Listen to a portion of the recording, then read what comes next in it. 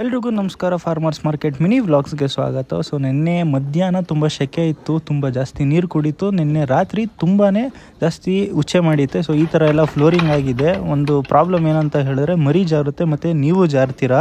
ಈ ಥರ ಆದರೆ ನೀವು ಮತ್ತು ನೀಲಗಿರಿ ಫ್ಲೋರಿಂಗ್ ಮಾಡಿದ್ರೆ ಸಹಜ. ಸೊ ಭಯ ಬೇಡ, ಏನು ಭಯ ಪಡ್ಕೊಬೇಡಿ. ಈ ಥರ ಎಲ್ಲ ಆಗಿದ್ರೆ ಏನಾಗುತ್ತೆ ಅಂತ ಹೇಳಿದ್ರೆ ಹಿಂಗೆ ಬಿಟ್ಟರೆ ಮರಿ ಕೂತ್ಕೊಳ್ಳುತ್ತೆ, ಗಲೀಜಾಗುತ್ತೆ.